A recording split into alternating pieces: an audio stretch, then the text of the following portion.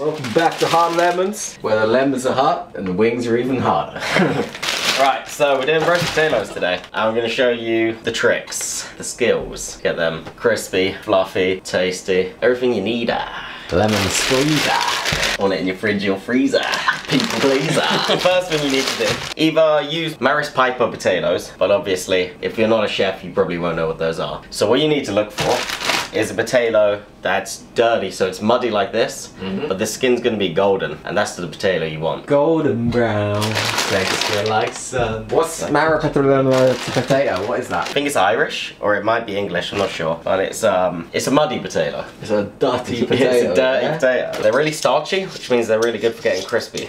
Eh, eh. So are these tricks that you learn as a professional chef? These are tricks that I have learned along the way. Next part is the cutting. You don't want to cut them too small. Maximum, you want four, like four pieces out of one. And this one's quite small, so I'm just gonna go for two.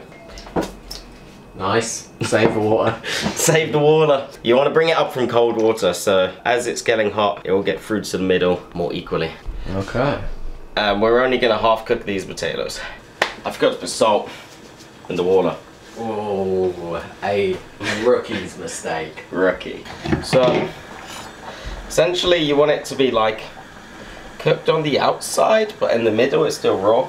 And you know it's raw you, when you push your knife into it. I don't know really how to explain, it's just hard and firm, rather than just goes nice and softly. You don't want it soft and floppy. Yeah, we don't want soft and floppy. Soft and floppy scares ladies away. Here's the trick. So you want to leave it in here to dry out a bit. Get, let, let all that steam and moisture come off of it. What you do, you shake it about.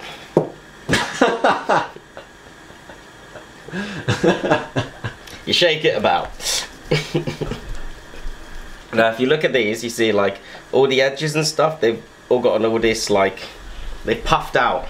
And what these are gonna do is get super crispy. And goes your roasties. Got the sizzle. We got the sizz. So I mean, these are roast potatoes, Yeah. but technically they're boiled, fried roast potatoes. huh?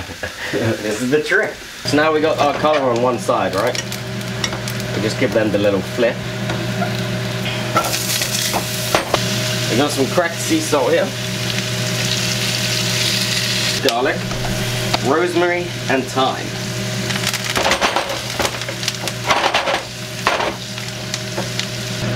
Cheeky little one of these. I put a load of butter in there, but there's not much of it anymore. The potatoes have just been sucking it all up. Mm. Emil will tell you a lot about sucking things up.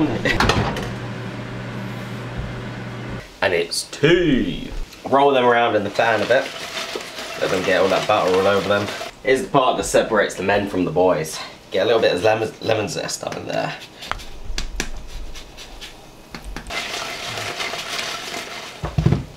Easy peasy lemon squeezy. Straight on your tray. Oh, if anyone tells you your roast potatoes suck, punch them straight in the mouth. No questions asked. Oh, you think we're done? We ain't done. It's not over till the fat lady sings. Emil, proceed.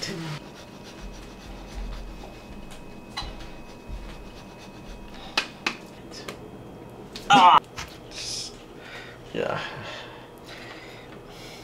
Are you mugging off my potatoes, should give me a knife. That's what you should have done. I'm about to give you a brain. oh, How's that heat, huh? mm, perfect.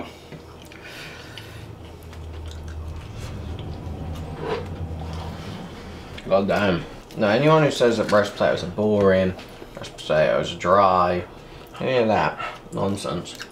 Hasn't had one of these roast potatoes. Yeah, I mean, if they, if anyone chats shit about these roast potatoes, just fucking Yeah, right hook, straight in the jaw. no warning as well. Don't don't tell them you're gonna hit them. Just fucking hit them. They don't deserve it. Yeah, They don't deserve it. yeah. If they call the police, just get the police to try the roast potatoes and tell, tell them what they did. Man, the crunch, mm. the texture, and then the fluffiness inside. It's like you said at the beginning of the video. Yeah, these are these are different level roast potatoes. This, know, Christmas lunch, be an award winner.